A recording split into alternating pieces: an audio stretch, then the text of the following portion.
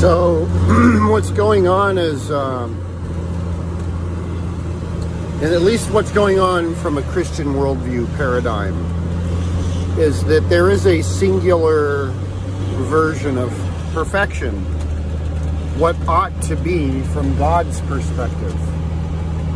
So it's a singular, highest of high, most perfect, supremely designed architecture and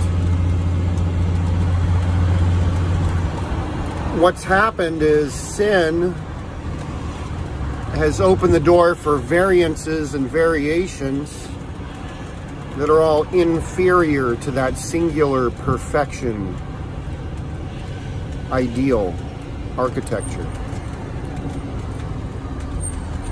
And as things try to stay in their imperfected state, um, they're expending their life's energy. Um, if things try to resist the conversion to inevitable perfection, it comes at a cost of energy and life. And perfection will be the ultimate steady state.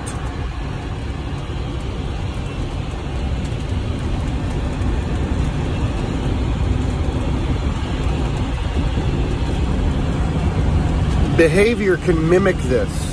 Human behavior, for example, could be a, an uh, analogy for this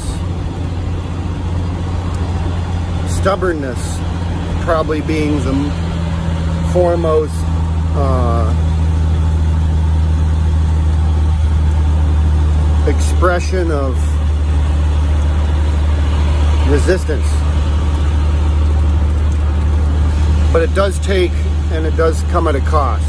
And it takes life and energy, and it comes at the cost of time to retain a stubborn position. And stubbornness can reinforce in the momentary, but time eventually wipes everything, including peer groups and uh, support supporting members and everything everything ultimately will succumb to the overarching wave of time in the alignment or decay of time, whatever you want to call it.